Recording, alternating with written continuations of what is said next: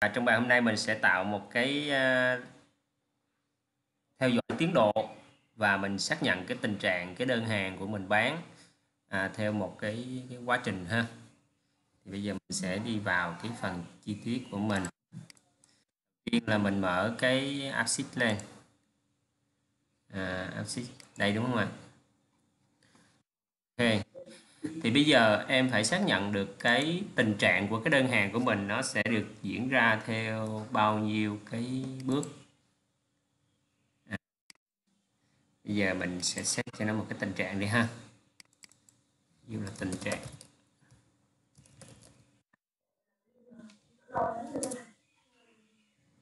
bây giờ mình sẽ rồi, ví dụ như cái tình trạng của em là khi từ cái lúc em tạo đơn hàng cho đến khi em khép lại đơn hàng, nó trải qua bao nhiêu cái giai đoạn?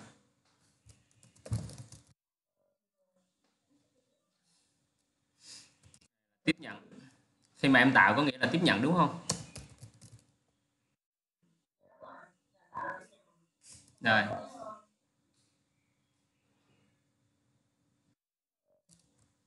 Chuyển hàng hay kiểm hàng? Chuyển hàng à. rồi giao hàng à. rồi tiếp là xong đúng không giao hàng là có nghĩa là nhận tiền nữa đó, à. tiếp nhận là nhận hàng đúng không à thì bây giờ của em nó đang diễn ra theo ba cái bước như thế này, đúng không?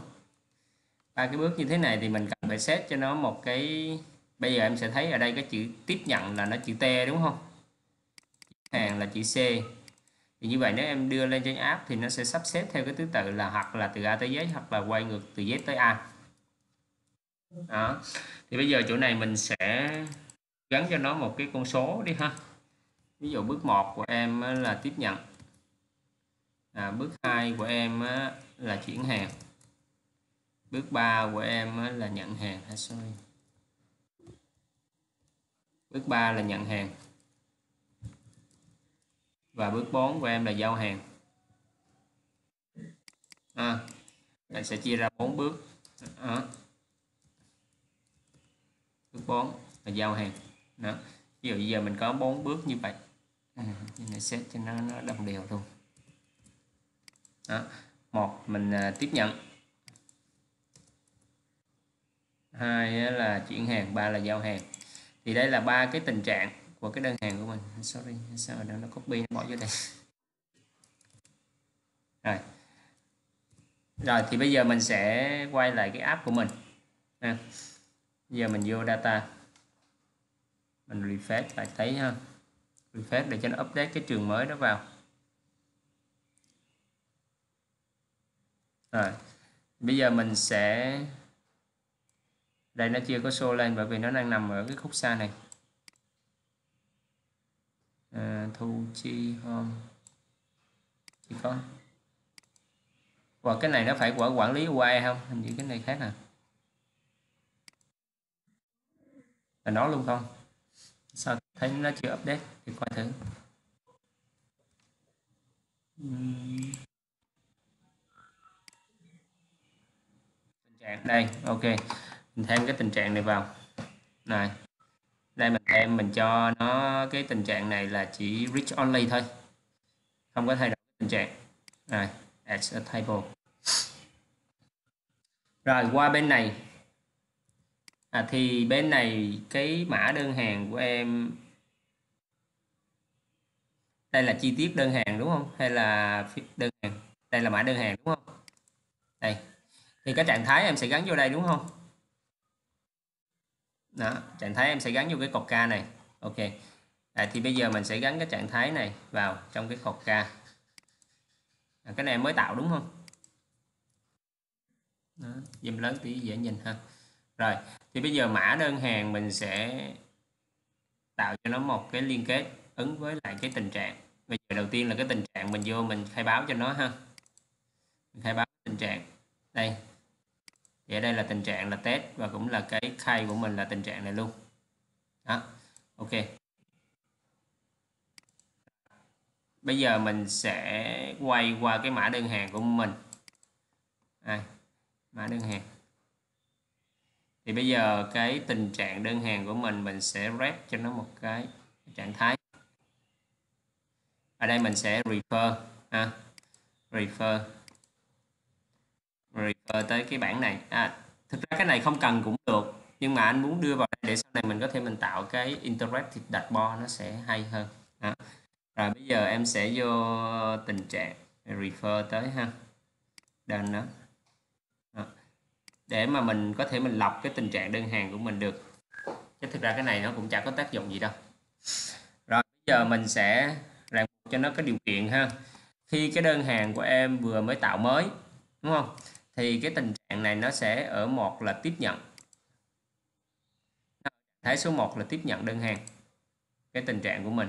Đây cái tình trạng này khi mình tạo mới một cái đơn hàng thì mình vô auto compute này ở chỗ initial mình chọn cho nó là một.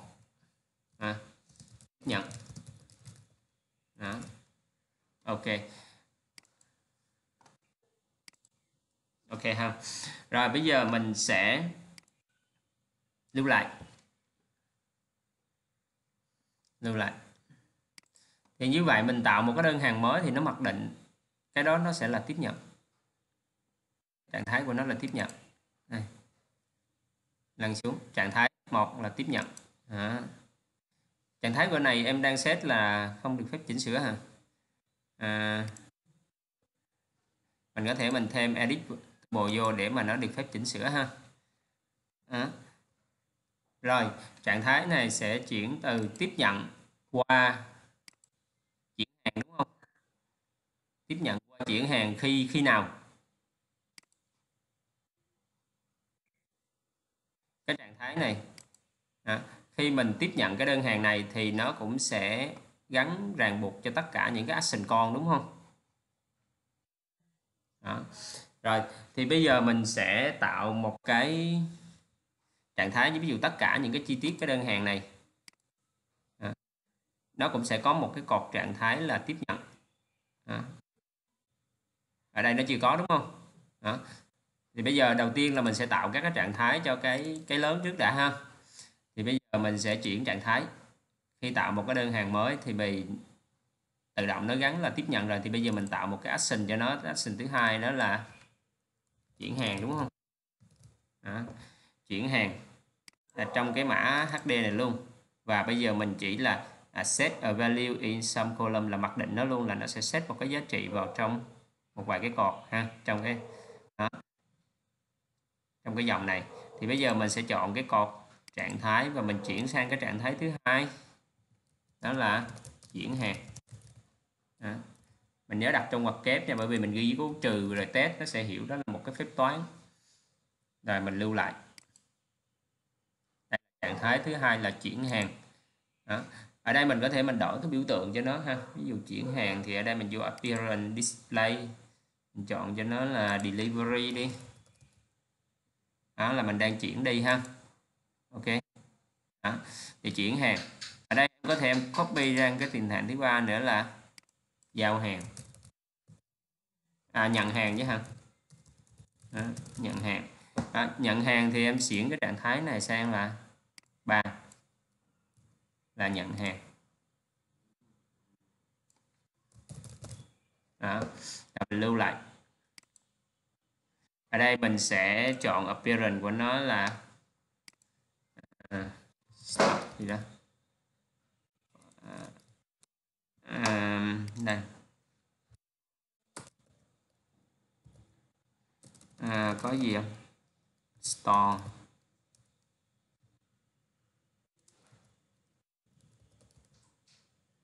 Ví dụ như đây là nhận hàng đi. Đi. Dùng cái biểu tượng này là nhận hàng. Hay là gì? Dùng cái từ cái nào cũng được. Rồi. Rồi đến cái trạng thái thứ tư của mình là giao hàng đúng không? À, trạng thấy 4 của mình là giao hàng. Ok mình chuyển sang trạng thái 4 của mình là giao hàng.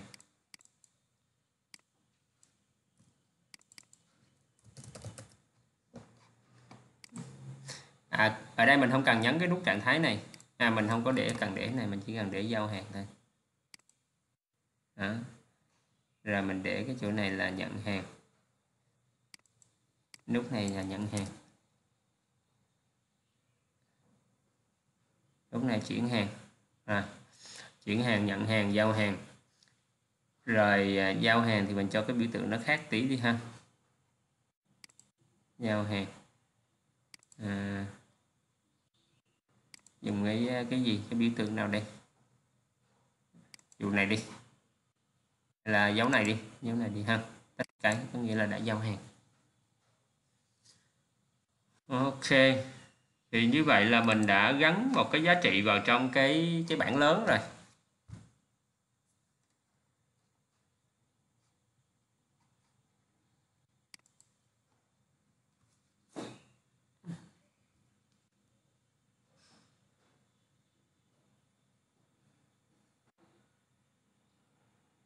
Rồi.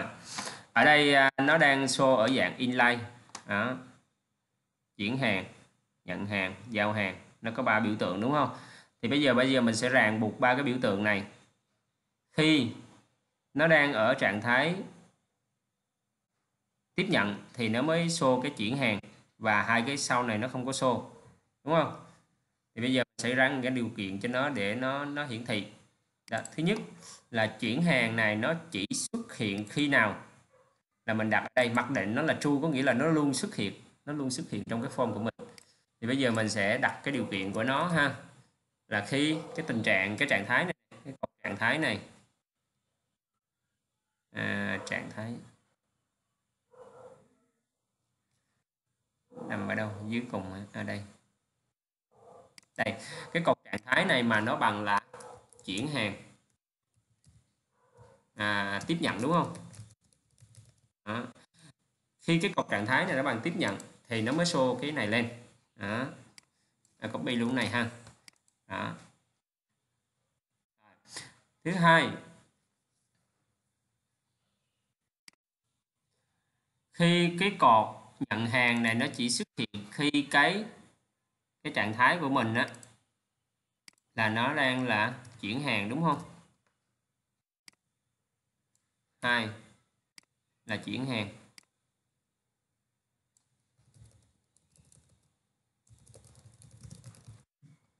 Đó. rồi cái thứ ba là cái bảng mà giao hàng nó chỉ xuất hiện khi khi mà đã đã nhận hàng. À, đã chuyển hàng đi đúng không?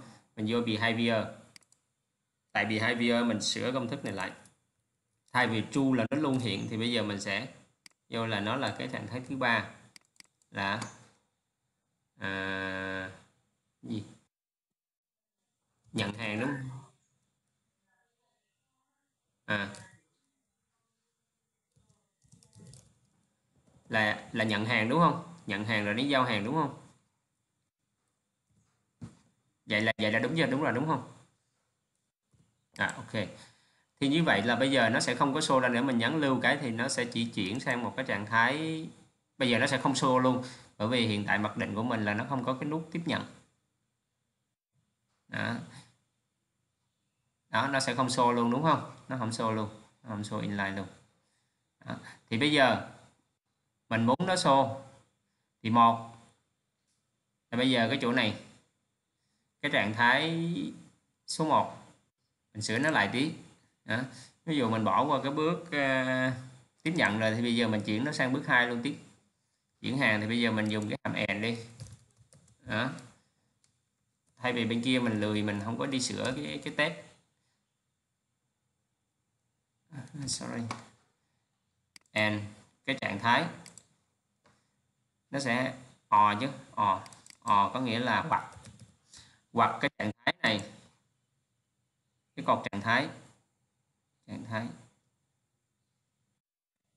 À, đâu rồi, nhìn rồi trạng thái này mà nó bằng nó bằng chuyển hàng hoặc là is, plan, cái trạng thái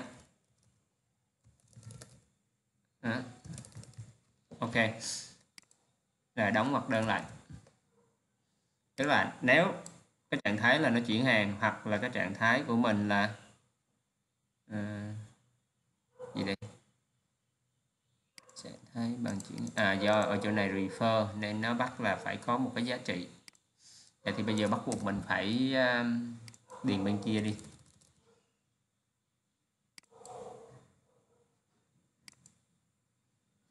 Ok. Bây giờ mình vô mình à, gì ta? Sorry. Trạng thái bằng chuyển hàng.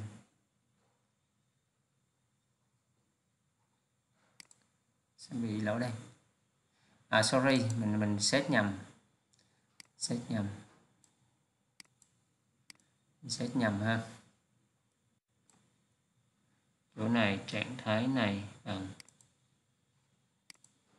à, đây chỉ điền cái test thôi. Chỉ điền cái test thôi, mình điền nhầm cột ha bi này lại. Mình sửa nhầm, đúng rồi sửa trong cái behavior nhà sửa trong cái value.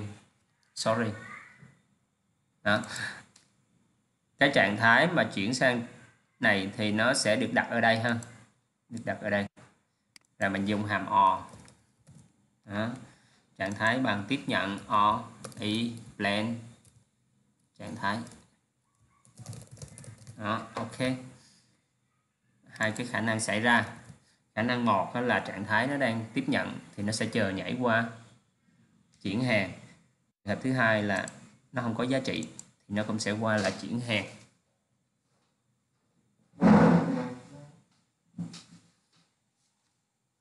Đó, thì bây giờ cái nút chuyển hàng này nó sẽ sáng, đúng không? Bây giờ em nhấn vô đây thì nó sẽ ở cái nút nhận hàng lên đúng không đó. hoặc là em vô trong chi tiết em xem thì cái nút này nó vẫn nằm ở đây ha đó.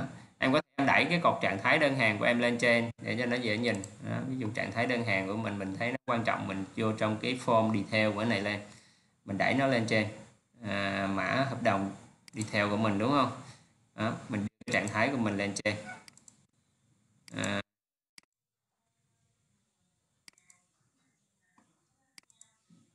rồi lát anh sẽ nói cái sự phân quyền đó luôn ha à, trạng thái trạng, trạng thái đây đó. ví dụ như mình đưa cái trạng thái này lên trên cùng ha ví dụ vậy đó. đưa cái trạng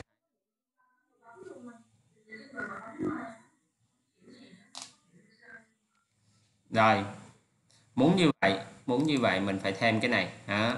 ví dụ là nhân viên này là nhân viên tạo hay nhân viên chuyển? À, ví dụ là người ví dụ mình thêm vô đây thêm những user vô. À, à người tạo ví dụ là người chuyển ha. Người chuyển. Người vận hành. Người vừa hát ha rồi người chuyển xong rồi đến là gì? À, giao hả? Người nhập. Rồi có cần thời gian không? Đó và chỗ này ví dụ là người chuyển thì nó sẽ có là thời gian chuyển. À, đúng không? Đó. chỗ này nó sẽ có là thời gian nhập. Đó. người giao nó sẽ có là thời thời gian giao. Đó, ok. Đúng không? Rồi, bây giờ chỗ này mình có cái này mình get ID của những cái người tạo, người chuyển, người ấy rồi rồi, đúng không? Bây giờ mình qua đây mình sẽ tạo lại cái data của mình tí. Mình update những cái trường này vào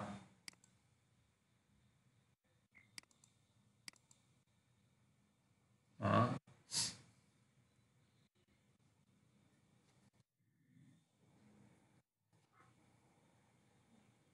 rồi, bây giờ mình đã update được những cái trường người chuyển, người giao, người nhận này vào rồi, đúng không? Thì bây giờ mình khai báo cho nó tí ha.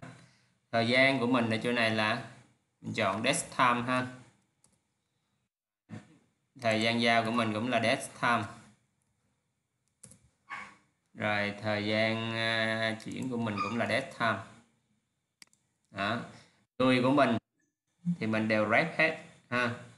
Ví dụ mình rep từ user ở đây mình chưa có bảng user đúng không à, chưa có user chưa có nhân viên bây giờ mình sẽ tạo một cái bảng nhân viên đó. bây giờ mình gõ một cái bảng nhân viên đó. ví dụ danh sách nhân viên đó. danh sách nhân viên của mình thì mình sẽ có nào là ID là, là họ và tên đó. rồi email rồi phân quyền ai? Là gì? Vị trí ví dụ vậy ha. Đó, ví dụ vậy. Đó, ví dụ như uh, nhân viên một. Đó, nhân viên một. Email là gì đó? À, bây giờ mình lấy cái email của admin trước đi ha. Admin của em. Đó.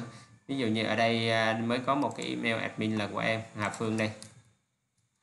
Copy cái email này vào bỏ ở đây ví dụ đây là admin ha mình copy lại ừ.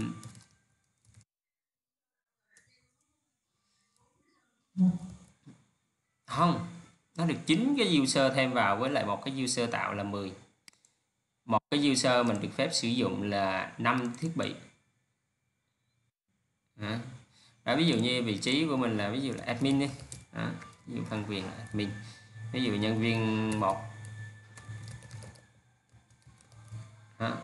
Ý là chuyển hàng đó. phân quyền là user ví dụ vậy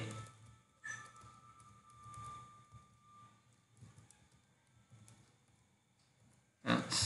rồi um, cái này copy ra đó.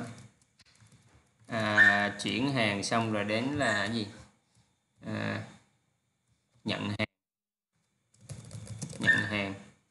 Rồi đến giao hàng ừ.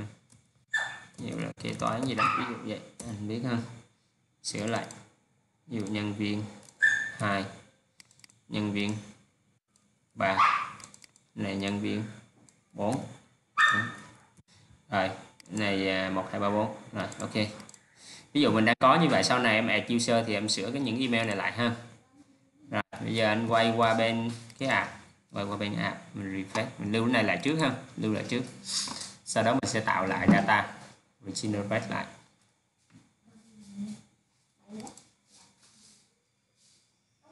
Rồi bây giờ mình quay qua data. Mình à, chọn mình à, add add, use, add thêm table vào. Vô table. Mình add new table rồi mình đi tìm tới cái user user user nó chưa vô hả? Chưa vô thì phải refresh lại.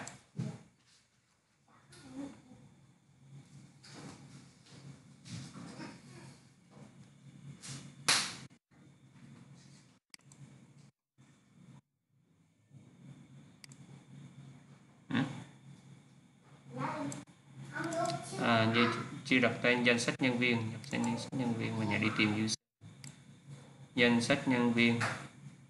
Không thấy hả?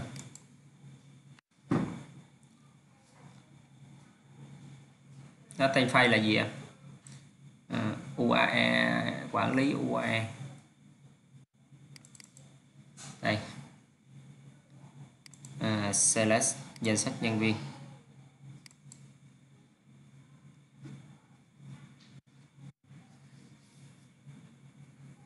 Ok rồi tại cái này hôm bữa anh có nói phân quyền về cái cái user là ví dụ như cái này á, là cái chỉ có admin mới được được thấy cái form này. Thì sau này em phân quyền thì chỉ có admin mới thấy dựa trên cái bài trước anh hướng dẫn á. À, Thì bây giờ cái bài này thì chủ yếu là mình mình mình phân quyền theo à, à ví dụ như ở đây là n5 n5 đó. cái ID của mình là đây. Đó cái ID này thì em em gắn sao để mà sau này em nhận biết được ha? Hoặc là có thể em dùng cái user email để em phân quyền tùy mình ha? Rồi, bây giờ mình sẽ quay lại quay lại bên cái table của mình. Đó. bây giờ mình qua bên cái bảng mã đơn hàng. Mình sẽ gắn các cái khay của mình vào.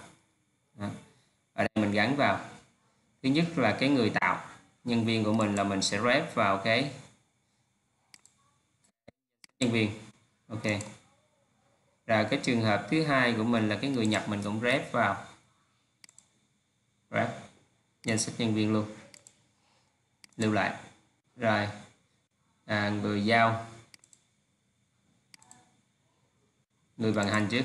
Ừ. rep. Rồi. Chọn ở đây là danh sách nhân viên ok. Rồi bây giờ đến người giao. Cũng tương tự. Mình cũng rep. Danh sách nhân viên. Done. Ok. Rồi, như vậy là mình đã tạo được cái liên kết khi mà cái người nào mà họ tạo thì nó sẽ liên kết với cái này rồi, đúng không?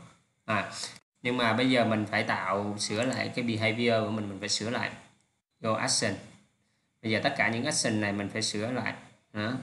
bây giờ nó sẽ ghét cho mình ba cái cột. Cột chuyển hàng của mình. Thứ hai là cái cột người vận hành. Người vận hành thì ở đây mình có thể mình đặt nhanh nó là user email nhưng mà mình đang dùng là cái tên nhân viên luôn để mình quản lý đúng không? Đó. ví dụ mình dùng cái cái tên nhân viên. Thôi bây giờ anh đặt là user email đi ha. User email chắc chắn thì khi mình ghét thì nó sẽ báo là à, nó báo dấu than bởi vì mình đang refer tới cái cột là danh sách nhân viên. Rồi, thứ hai là cái ngày, thời gian vận chuyển, đúng không? Thời gian vận chuyển thì mình sẽ sử dụng cái hàm no.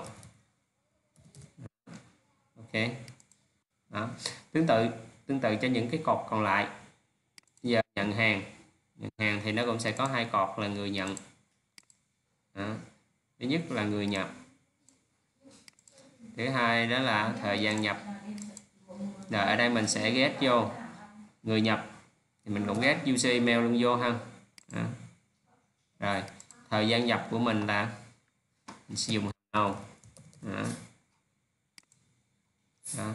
rồi, tiếp đến là cái giao hàng giao hàng ở đây mình cũng set hai cột hai cột luôn đó. cột thứ nhất là người giao mình cũng lấy UC email luôn đó à, tiếp thứ hai đó là thời gian giao. Đó. ở đây mình cũng lấy user email luôn. Đó. ok. Đó. Mình lưu lại lưu lại. Giả sử bây giờ đây này ha. Gọi tên là Hà Phương đi ha. Đó. nhân viên một của em là cái gì đó? Gọi đại vô ha. Rồi bây giờ anh thử toàn bộ lại cái đi. Gì đây? Anh báo lỗi hả? Coi báo lỗi gì? Ờ, à, user email. Column user à mình set như thế này nó không nhận ha. Um, nó không nhận. Chỉnh lại chỉnh lại.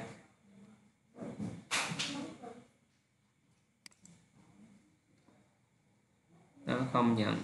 User email nó không nhận do cái kia mình đang khai báo là email mình là rep. Thì mình ở đây mình cũng phải rep.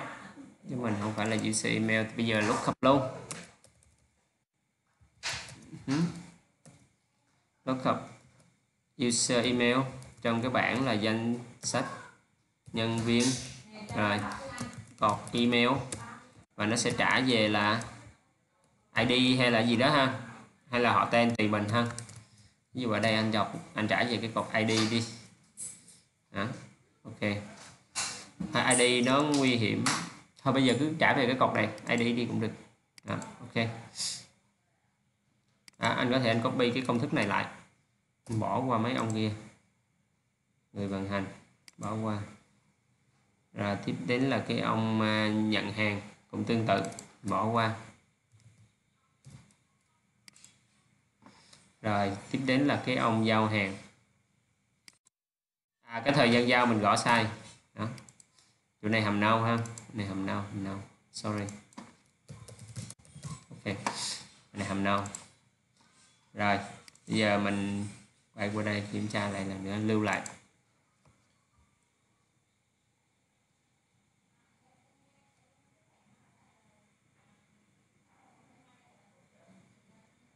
Rồi. Bây giờ giả sử như giờ cái đơn này nó mới đang ở chuyện trạng thái là chuyển hàng. À, sorry để anh, anh show hết lên show hết lên hóa đơn chi tiết. Hóa đơn. Vậy lại anh đây có show mỗi cái cột trạng thái chuyển hàng mà không có show on. Đó, show on lên ha. Đó.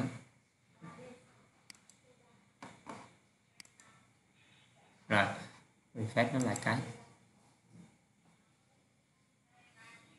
Rồi.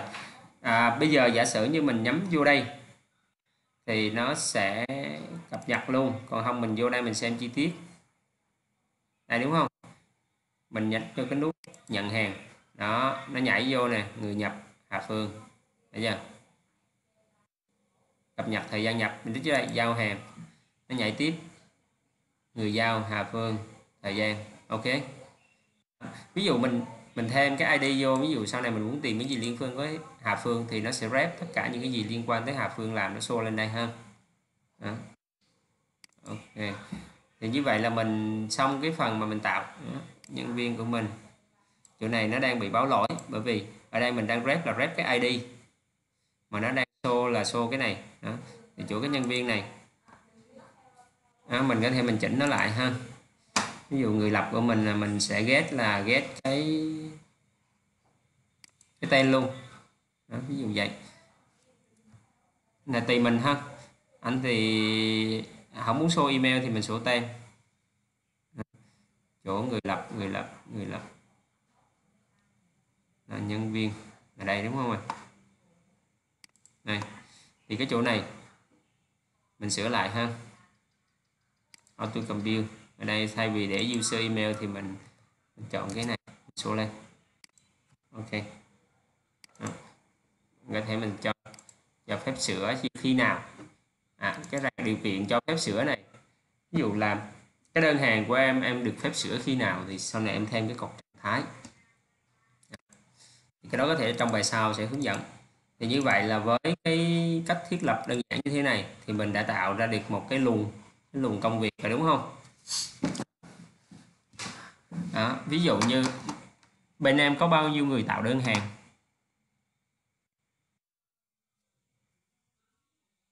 bốn người tạo đơn hàng và em muốn là người nào tạo đơn hàng là theo dõi cái đơn hàng của người đó hay là thấy được tất cả ừ.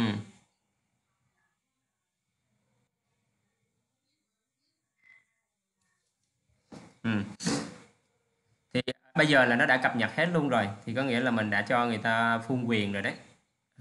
Ví dụ cái này nè, nó xô cái này ra, nó khó chịu á, em có thể em bỏ cái này đi ha.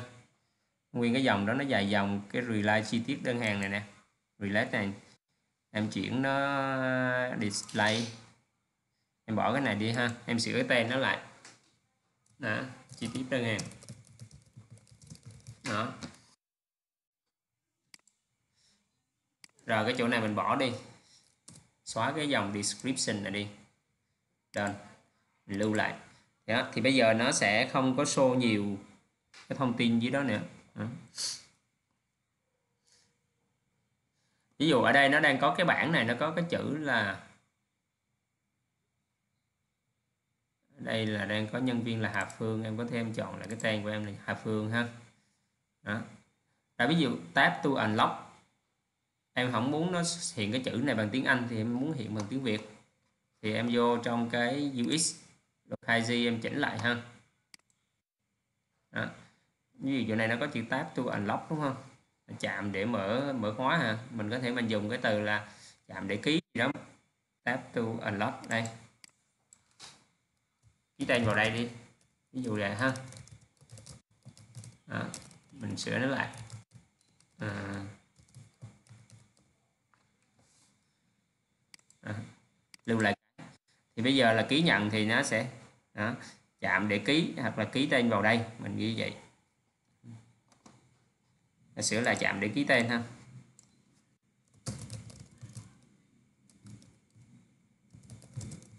đó.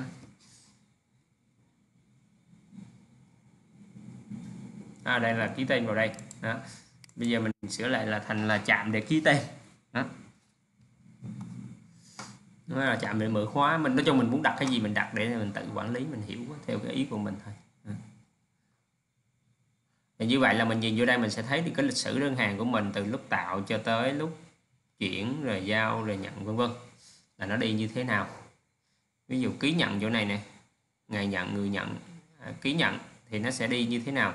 Thì mình sẽ làm cái đó. Rồi, à, nó ràng buộc ha. Nó ràng buộc ví dụ như thằng này nó ký nhận khi mình giao thì nó sẽ show cái ký nhận lên đúng không? Ý là như vậy đúng không? Đó. thì mình cũng có thể mình chọn link to view để mình xem. Còn không thì mình đưa cho người ta à, ký trước rồi sau đó mình nhấn cái nút xác nhận à, giao hàng. Thì nó sao cũng được. À, cái đó nó không có quan trọng lắm. Và bây giờ thử ha thử cái đơn hàng này. Đó. nó chuyển ra trạng thái ha người vận hành, ví dụ giờ em anh sửa lại là nv1 đi ha. Trước. Sau bây giờ mình vô nv1 mình xem chuyển hàng đúng không? Bây giờ chuyển hàng, nó mới có. Chuyển hàng, bây giờ mình sẽ nhận hàng ha. Nhận hàng. Ừ. mở lớn là tí, nhận hàng. Đó, thì bây giờ xuống dưới, nó sẽ có người nhập là NV1 đúng không? Là ví dụ như mình chuyển qua NV2 apply cái.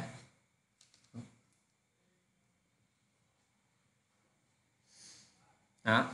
Ví dụ như giờ ông NV2 này, ông đi giao hàng.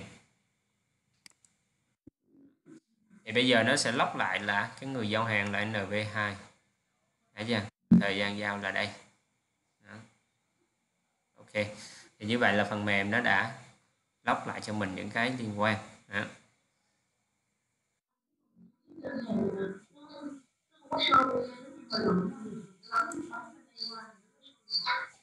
Đâu?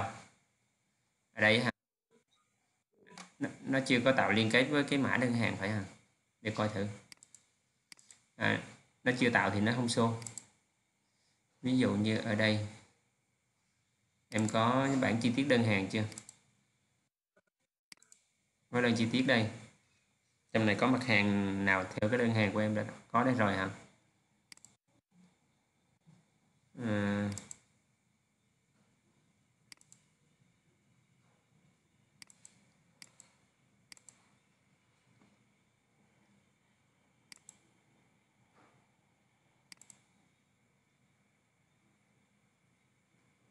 mã chi tiết đơn hàng. Là mã đơn hàng đâu? Em ẩn nó. À? rồi bây giờ trong cái UX của em coi thử em tạo nó liên kết nó như thế nào ví dụ như mã đơn hàng chi tiết đơn hàng nó đang không có mã đơn hàng nên nó không có tạo liên kết ha. vì em ẩn nó nên nó không có liên kết à, sorry. Đó. ví dụ như giờ em có cái mã đơn hàng đây đây em đang có hai mã đi ví dụ cái trên là của cái đơn nào cái dưới đơn nào? À, à địa chỉ em copy địa chỉ mã đơn hàng địa chỉ sorry. Mã đơn hàng ở đây đúng không? Đây bây giờ cái này nó phải liên kết với cái chi tiết đơn hàng. Ok. Thì à, dù Sơn Nguyễn này có ba đơn đi. Rồi Hà Trường cái gì đây? Rồi sao hai người khác nhau? Ông dưới nào biết không? Dưới không biết. Thì bây giờ em refresh lại thì chắc chắn nó sẽ update.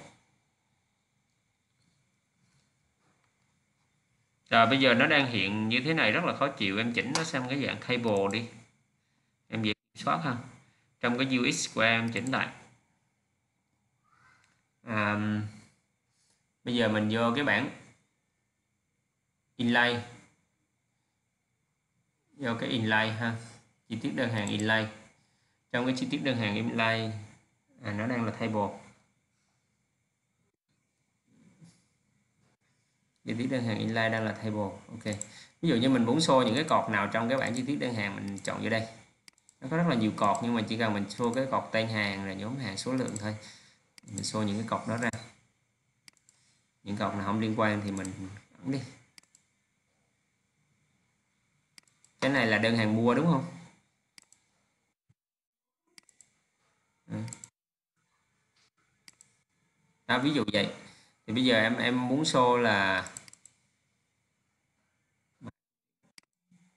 Đấy, khách hàng đó quan trọng đúng không? Bởi vì nó cái xô anh chỉ cần nhóm hàng số lượng số cân và đơn giá như đây thôi. À, mã chi tiết đơn hàng nó cũng quan trọng luôn. Ờ, lưu lại. Tức là trong cái bảng con nó đã có những cái thông tin chung nó show lên trên cái bảng lớn rồi thì mình không có cần phải show này. Như vậy đây.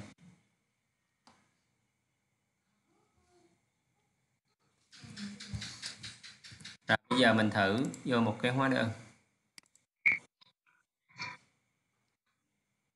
đó thì nó show những cái bảng này như vậy đúng chưa? Đó.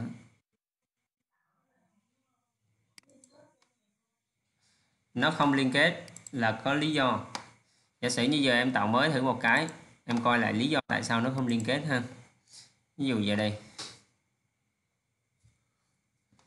À, chọn tên khách hàng Sơn Nguyễn đi. Rồi. Bây giờ mình chọn là mấy cái này ví dụ trong cái data cái form tạo của mình mình không cần phải đưa mấy ông này vô thì mình ẩn ông đi ha. Vậy qua đây. Mình ẩn ổng bên cái form tạo thôi. Cái form tạo chứ đừng có ẩn bên cái show data nha. Ẩn bên show data nó có nghĩa là nó sẽ không có show lên luôn á.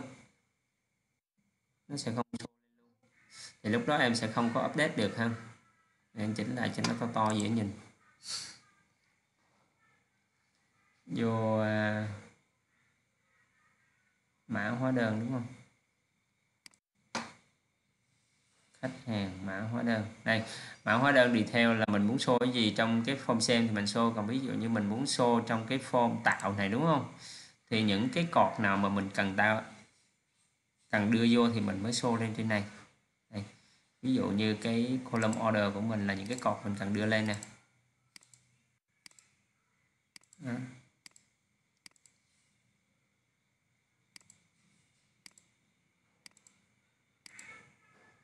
À, sao anh thấy cái này nó nó giống giống với lại cái cái chi tiết quá vậy ta?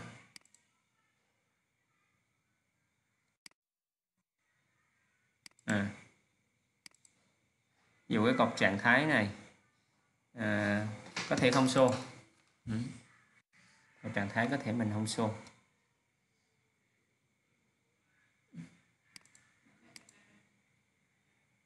đó. và cho nó gọn bớt lưu lại. Thì như vậy mình gói bớt lại để mình đừng có xô nhiều thứ quá ra nó rối giống nó user họ làm họ rối dễ sai. Đó, ok bây giờ mình thử tạo một cái ha. Dù anh sơn đó, anh sơn à, người vận hành đây không cần thiết đưa luôn ra luôn. Người vận hành không cần bỏ luôn ra. Đó. Ví dụ như tổng tiền Dubai, tổng tiền Việt Nam đồng này nọ, mình đưa luôn xuống dưới đi ha. Đưa cái này lên trên.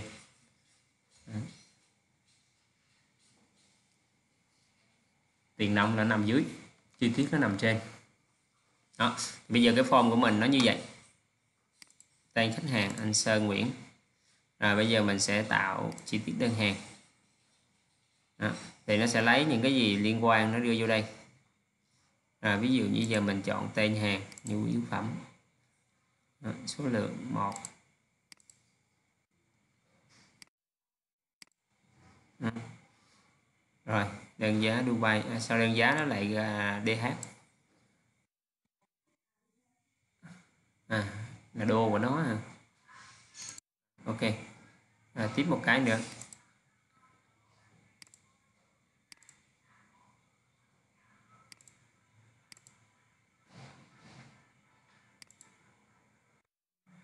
À.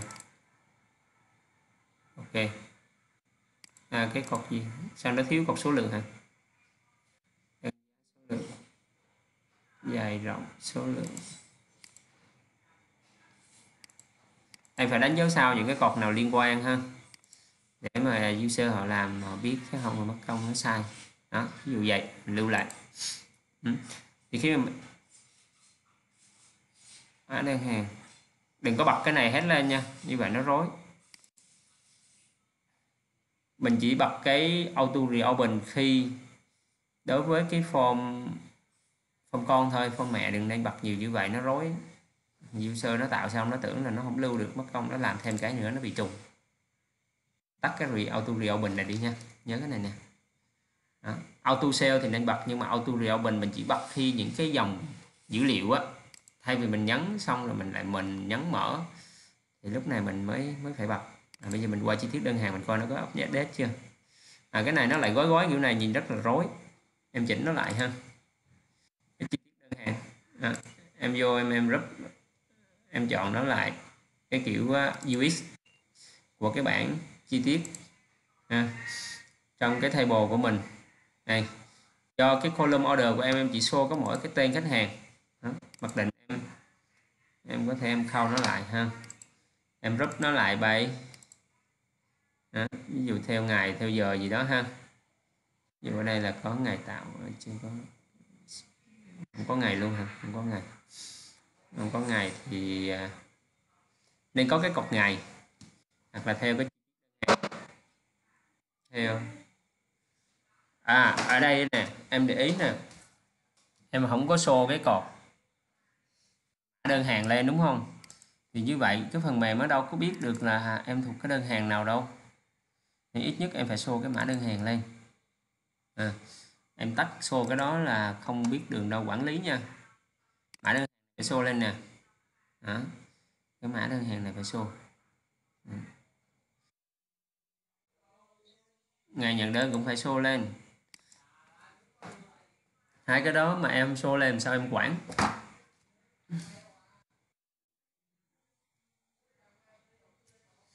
Em chỉ à, em em qua em coi nếu em không show bên này đâu có nhảy đâu. Nè chính vì em show nên giờ nó không nhảy nè. Thấy chưa?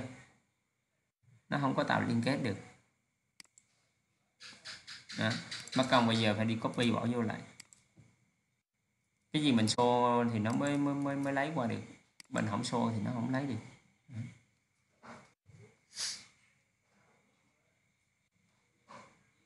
Nó không có hiểu. Em ngày chỉnh sửa. Ví dụ cái này, em show lên có nghĩa là em không có khả năng em chỉnh sửa luôn. Đó. ví dụ như em không có show cái này lên là em không có khả năng chỉnh sửa nó có hai dạng là show data và show trên form, hai cái khác nhau nha em bỏ tích show trên data này có nghĩa là cái data này nó sẽ không được show lên trên trên cái bảng của em luôn. Nó không được update. Còn khi em bỏ tích trên form mà em có tích trên cái show data này thì nó vẫn update nếu em có gắn công thức. Đó. mình để ý chỗ này. Lưu lại. Chứ không, mình cứ mình tạo xong rồi mình kêu quá sao nó không có liên kết? Là nguyên nhân là mình đã không có show nó lên nên nó đâu biết, nó lấy được cái cái cái khay đâu mà nó liên kết. Nha. Yeah. rồi, bây giờ cái ông Nguyễn Sơn này, nếu mà em xem cái dạng đét này thì em nên tạo cho nó một số cái cái trường, cho nó chuẩn. Ví dụ cái hóa đơn của em muốn xạo dạng đét đúng không? Thì cái chỗ này là em phải có cái số hóa đơn. À. ở đây nó có, cái đét này nó sẽ có một số cái trường mà em cần phải lưu ý nè. Thứ nhất là em muốn rút theo cái gì? Theo cái ngày, đúng không? Và ngày của em là giảm dần, ok. Đó. thứ hai là em tính tổng tiền của em là ngày hôm đó là em bán được bao nhiêu đúng không em nhập bao nhiêu đúng không? Hay là em đếm cái số đơn hàng? Cái này là tùy mình ha. Đó, thì ở đây nó có ba cái cột. Primary header. Đó, ví dụ em muốn cái cột của em là cái khách hàng nào đúng không?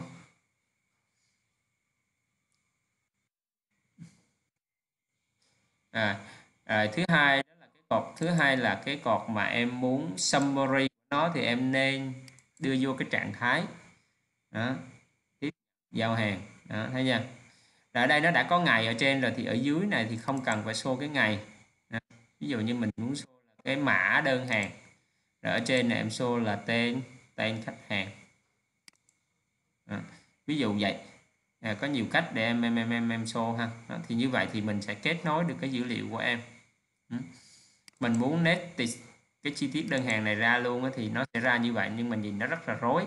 Thì theo anh khuyên là không nên không nên hiển thị ra. Với dạng đét mình xem cái kiểu này nhìn nó rối rối. Đó, nhìn nó rối rối nó không có được đẹp. Đó, nó không được đẹp. Thì mình đừng có xô cái này ra. Nên nó nếu em có hình ảnh thì nó sẽ xô cái hình ảnh của em ra. Đó, dù có ký nhận xô ra. Còn không thì để auto đi. Có nó xô có nó không xô.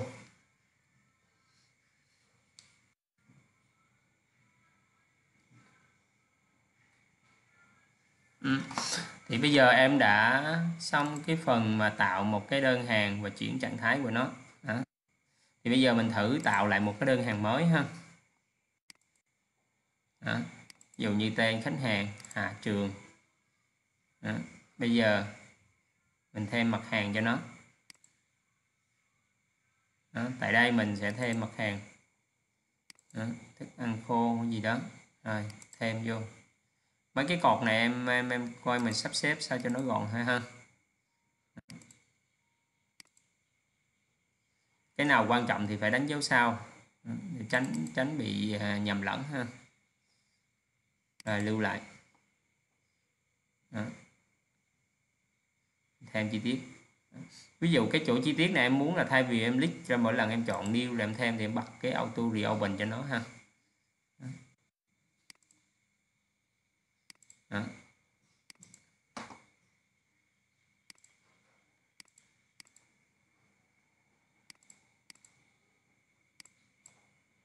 Đó.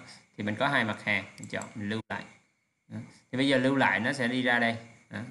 thì hạ trường mình vừa mới tiếp nhận Đó. bây giờ mình tiếp nhận xong mình chuyển trạng thái giao hàng Đó. nó sẽ chuyển sang trạng thái ok ha hàng chuyển ra trạng trạng thái nữa, nó sẽ ra tiếp nhận. Mình mình nhấn luôn cái dấu tích này luôn là giao hàng. Đó, nó đã đã đã giao hàng rồi, ok. Đó. thì như vậy là em đã kiểm soát được cái việc tạo và cập nhật cái trạng thái cho cái đơn hàng của mình. Ok ha.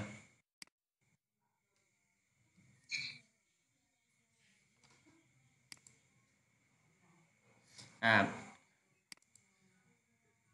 À bây giờ mình sẽ tạo một cái form cho nó để mình xem, cái kiểu xem ha.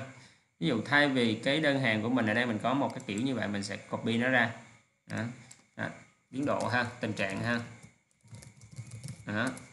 ví dụ tình trạng đơn của em bây giờ em sẽ rub rub nó theo theo cái trạng thái.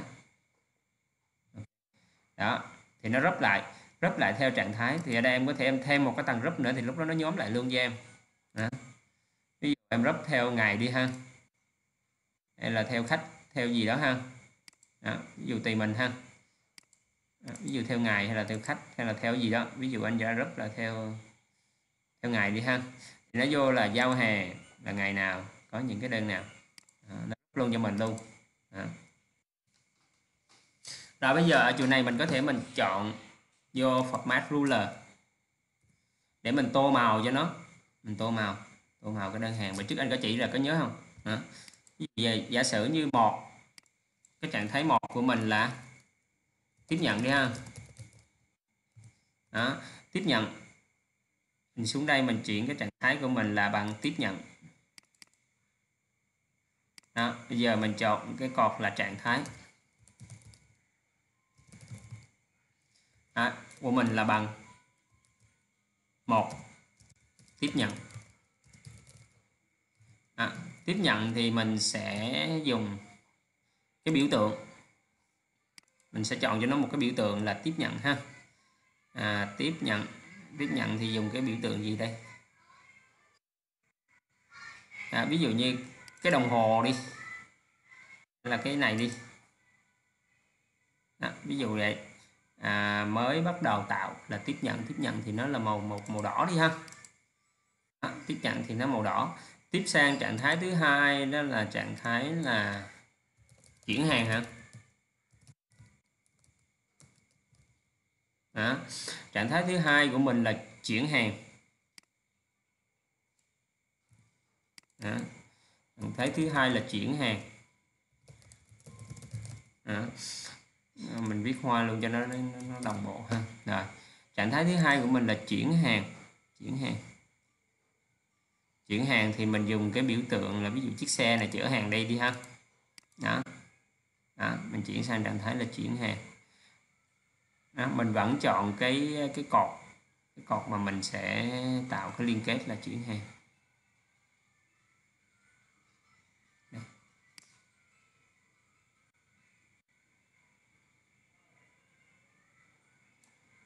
À, trạng thái đâu rồi?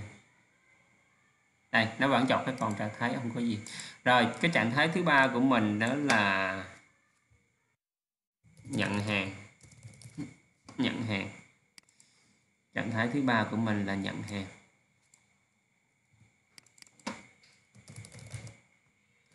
Nhận hàng.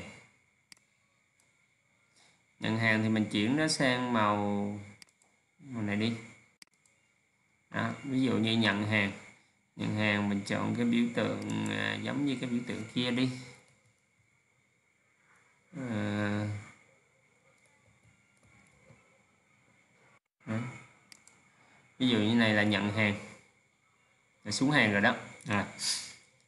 rồi cái biểu tượng thứ tư của mình đó là đã giao hàng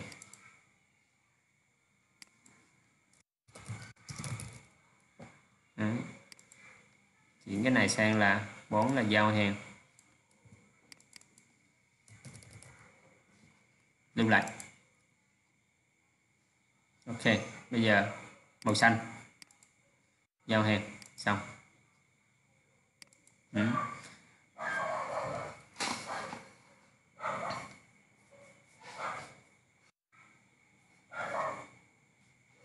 thì như vậy bây giờ ở đây trong cái cái đơn hàng của em đó, nó sẽ phân ra màu sắc nó sát một tí ha.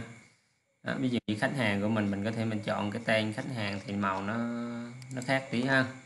Giờ này là khách hàng. Đó. cái menu. Nó đã từng tab từng tám này hả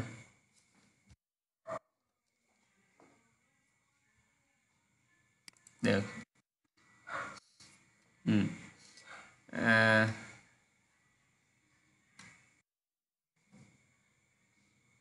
trong cái bài trước anh có chỉ rồi đúng không? Bây giờ thì chỉ cần thực hành thôi. Mà cái đó làm hơi lâu chắc để trong cái phần khác mình chỉ ha. Mình sẽ tạo cái menu cho nó. Thì em em cứ tạo cái menu rồi em copy các cái icon em bỏ vô trước đi. Ở trong cái bài sau sẽ chỉ làm cho nó nhanh ha. Ừ. thì như vậy là mình tạo được một cái này hóa đơn là chi tiết đó. Đó, giao hàng rồi thì nó không còn nút gì nữa hết ha đó. Đó. tiếp nhận thì nó sẽ nổi cái nút chuyển hàng lên nhấn chuyển hàng nó sẽ chuyển sang là đã chuyển hàng đó. ví dụ mình nhấn nhận hàng thì nó sẽ chuyển sang là đã đã nhận hàng mình nhấn giao hàng thì nó sẽ xác nhận là đã giao hàng. Rồi, ví dụ như giờ, cái nút này của mình, nút edit này nè, nó chỉ show khi, nó chỉ show lên khi mà cái đơn hàng của mình là, tóm lại là nó chỉ cho sửa. Khi hàng của mình nè, mà nó chưa có giao thôi khi mà nó giao rồi nó không cho sửa thì mình vô đây. Behavior mình vô đơn hàng ha. Vô mã đơn hàng. Mã đơn hàng mình à, mình có rất là nhiều action ha. Mình lăn xuống dưới. Vô cái nút edit này. Cái chỗ này thì nếu mà mình show up lên thì mình phải ràng cái điều kiện cẩn thận nha. Thứ nhất à, cái này nó chỉ cho phép khi cái đơn hàng của mình là nó khi cái cột trạng thái này mà nó khác với lại giao hàng. Ở đây mình cho nó luôn là distro scroll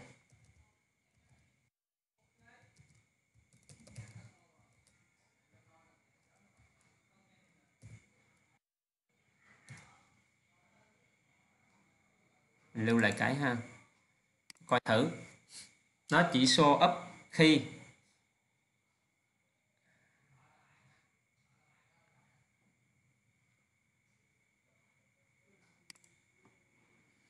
uhm, bây giờ giao hàng. Là nó không sửa được. Nó không có nổi nó lên thì tất nhiên là không sửa được. Tương tự cái nút xóa cũng vậy. Rồi bây giờ mình thử một cái nút mới mình tạo một cái đơn hàng thử nha. À, chọn tên khách hàng. Nguyễn Ngân. Rồi mình chọn thử new. Bây giờ mình chọn một cái tên hàng. Đó. chọn số lượng vào. Đó.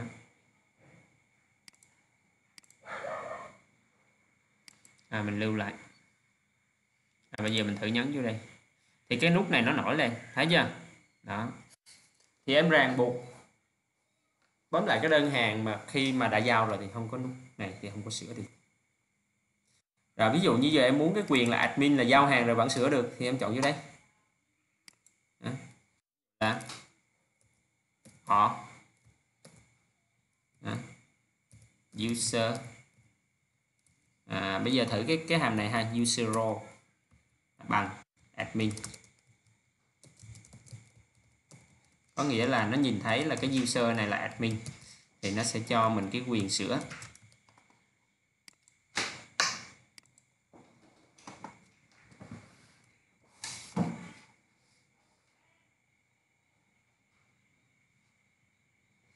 Rồi bây giờ chuyển hàng thì nó có nội viết ha bên này giao hàng nó cũng nói viết luôn. Cái user role này không đúng không đúng. Không đúng là phải là user email. Dùng user email thì nó mới phải dùng cái hàm lookup. Lookup. À, user email. Rồi trong cái bảng danh sách nhân viên.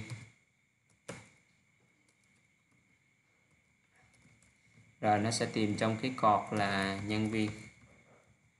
Cột email. Rồi nó sẽ tìm trong cái phân quyền. Mà nó bằng admin, thì nó cho phép sửa.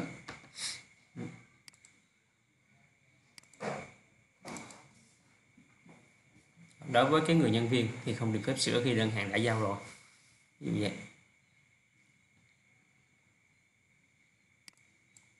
Và giao hàng mình vẫn vẫn mở edit được đúng không?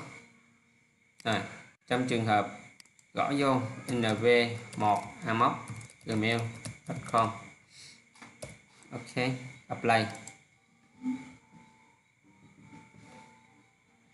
Đó thì cái nút này nó không có nổi lên.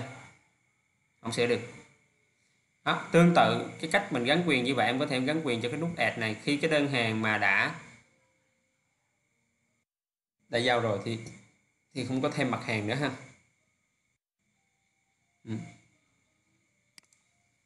này vừa Nguyễn Ngân. Nguyễn Ngân.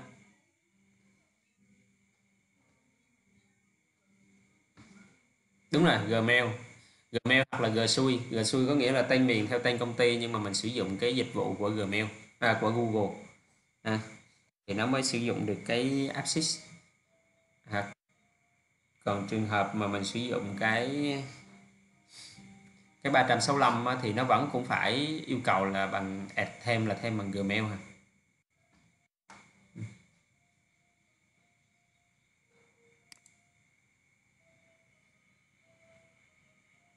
Ok ha. Đó, thì bài hôm nay thì chắc mình à, chủ yếu là mình à, nắm về cái cách để mình quản lý được cái tiến độ đơn hàng của mình thông qua cái action mà mình chuyển trạng thái. Đó là thứ hai, đó là mình mình phân quyền để khi cái đơn hàng mà nó đã đóng rồi thì user không được phép cập nhật thay đổi. Ừ. áp dụng cái phương pháp này thì em có thể em mở rộng ra những cái hướng đi khác ha.